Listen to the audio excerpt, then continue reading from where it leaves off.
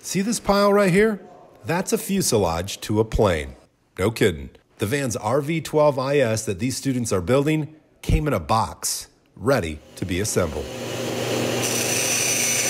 We take them from knowing nothing about aviation, which is a field that's really hungry for, for these kids to, to get in there and be pilots, mechanics, engineers. And we, we expose them to that as freshmen, but then we're hoping to take them to do all that kind of stuff throughout their time here with us.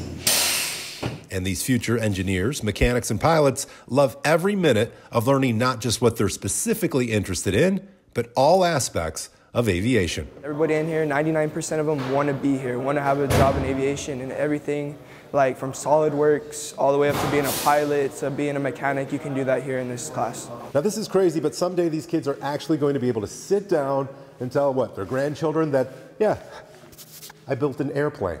But really, none of it would have been possible without the help of their instructors and also the mentors that come in and volunteer their time each and every day. They always like help us if we ever have issues or anything, and to know that they have like years and years of experience, you know, I feel like confident that that like they're leading me in the right direction. And sometimes that mentorship goes beyond the classroom and the workshop. One of the mentors from EAA Chapter 35, she's going through with them each step they'd have to take to get there. You need to do this step for, to get into college. You need to do this next step to, to become an engineer. We've really got a very unique thing set up here. Unique might be an understatement, as it's the only program in San Antonio and one of only six in the state of Texas. If you get them interested now, that's what they're going to do later. You know, they just might not have access, and that's ultimately the most important thing.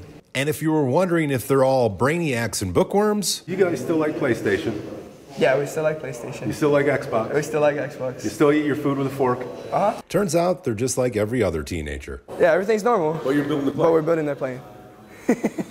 Reporting from San Antonio's southwest side, I'm Bryan Boes, Spectrum News.